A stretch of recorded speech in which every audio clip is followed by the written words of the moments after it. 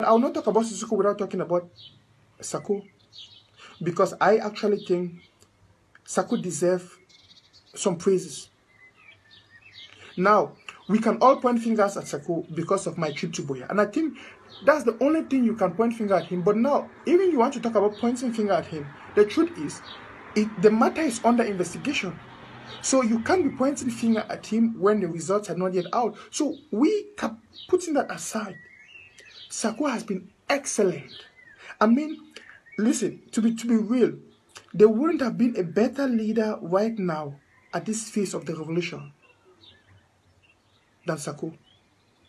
Because Sako came in at a time where, believe me, there was a lot of despair, there was a lot of fear, there was a lot of confusion in this revolution. Not many of us would have taken that boldness, that courage to accept that position. When we never even knew whether Sissoko and the rest were alive, there was just so much confusion in the air. Sako came up. And at that particular point, we knew like Republic was moving along like a you know roaring lion, willing to eat and destroy anybody. They were willing to kill and destroy. After we saw what happened to Sisiku and the West, La Republic was willing to. It will only take a man of courage to accept that position again. After seeing what has happened to those in front of you, Sako deserves honor. This is a great man.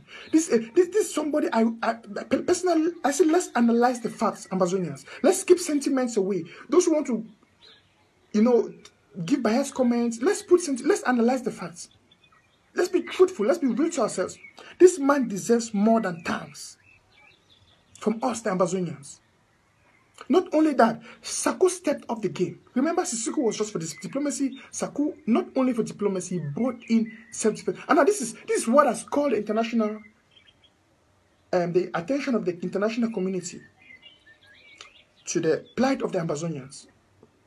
Because now we see, and I think this is what is bringing was is. I'm sorry to say, I, am tempted to think that this is what is bringing fears to those who are jealous of Sako's uh, um, um, work and what the IG has been doing. Because you see him in his first 15 months, now the international community is talking about Ambazonia. The United Nations Security Council is sitting and having a case about Ambazonia. And somebody will just say someone is, is like terrified. Whoa, come on.